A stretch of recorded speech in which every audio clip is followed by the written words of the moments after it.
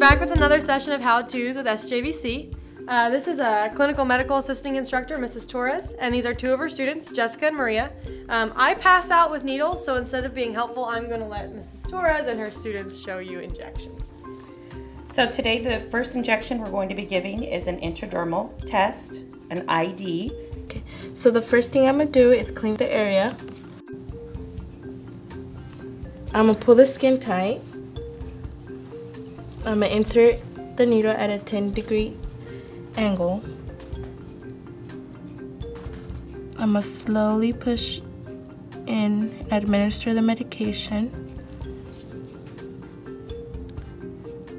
And it's gonna become a wheal.